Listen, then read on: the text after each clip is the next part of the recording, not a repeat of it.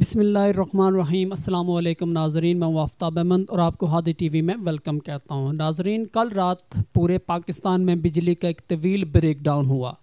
ناظرین، اس طرح کے بریک ڈاؤن کو بلیک آؤٹ کہتے ہیں اور اس بلیک آؤٹ کی وجہ سے پاکستان کے بڑے شہروں، جن میں اسلام آباد، لاہور، کراچی، ملتان، فیصل آباد سائی وال شیخ پورہ، اس طرح کے بڑے شہروں سمیت ایک سو چودہ شہروں میں بجلی کا بریک ڈاؤن ہوا۔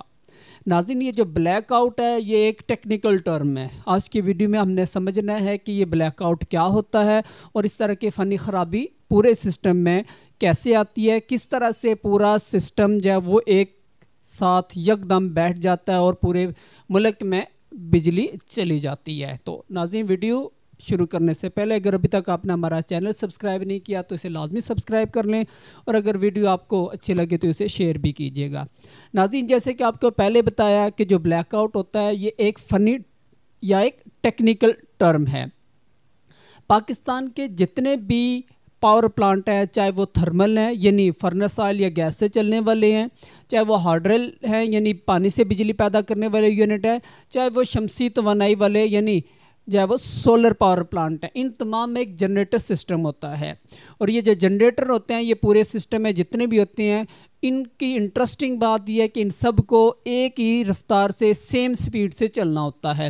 اگر ان جنریٹر میں سے کسی ایک جنریٹر میں بھی خرابی آ جائے تو وہ اپنے ایفیکٹ اپنے سے آگے والے جنریٹر پر ٹرانسفر کرتا ہے، جس کی وجہ سے اس پر اس کی فنکشننگ میں بھی پرابلم آتی ہے، اس کی سپیڈ بھی کم ہو جاتی ہے۔ اور پھر وہ اپنا برڈن اپنا بوجھ اپنے سے اگلے والے جنریٹر پر ٹرانسفر کرتا ہے۔ اس طرح سے اس کے سسٹم میں بھی خرابی آتی ہے، اس کی سپیڈ بھی جو ہے وہ خراب ہو جاتی ہے ڈسٹرب ہو جاتی ہے۔ ناظرین، جیسے کہ آپ کو پہلے بتایا کہ اس میں جتنے بھی جنریٹر ہوتے ہیں they have to run at a same speed اگر ان میں سے کسی ایک کی سپیڈ بھی کم ہو جائے، فرق پڑ جائے، تو پورے سسٹم پر برڈن پڑتا ہے۔ تو کل رات کو بھی سیم یہی چیز ہوئی۔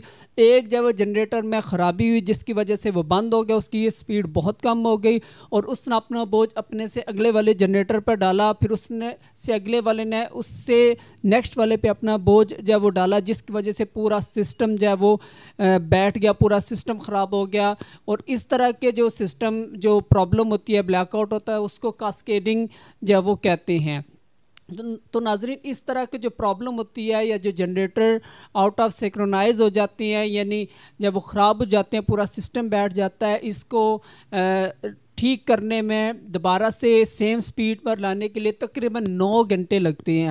اور اسی وجہ سے رات کو بارہ بجے جانے والی بجلی صبح نو بجے دوبارہ سے بحال ہونا شروع ہو چکی ہے، جس کی وجہ سے ابھی تک کی اطلاعات کے مطابق لاہور، کراچی اسلام آباد سائی وال شیخ پورہ، ملتان اور اس طرح کے بڑے شہروں میں بجلی دوبارہ سے بحال ہونا شروع ہو چکی ہے اور اگلے دو سے تین گھنٹوں میں تقریباً پورے پاکستان میں بجلی دوبارہ سے بحال کر دی جائے گی۔ تو ناظرین، یہ تھی آج کی ویڈیو جس میں ہم نے آپ کو بتایا کہ بجلی کا پورا سسٹم کس طرح سے بیٹھ جاتا ہے، کس طرح سے بلیک آؤٹ ہو جاتا ہے یا بریک ڈاؤن آتا ہے، تو یہ کیا ہوتا ہے اور اس کو کیسے ٹھیک کیا جا سکتا ہے۔ ناظرین، اس ویڈیو کو لازمی شیئر کیجیے گا تاکہ جن لوگوں لوگوں کو اس بلیک آؤٹ یا اس بجلی کے جب وہ طویل بریک ڈاؤن کی ریزن کا نہیں پتہ فالٹ کا نہیں پتہ تو وہ اس کو جان سکیں۔ شکریہ۔ اللہ حافظ۔